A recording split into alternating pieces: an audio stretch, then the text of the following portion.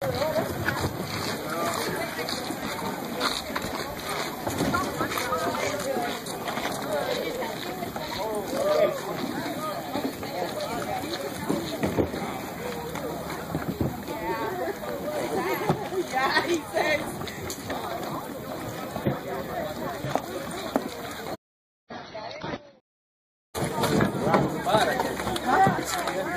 just bail on our conviction.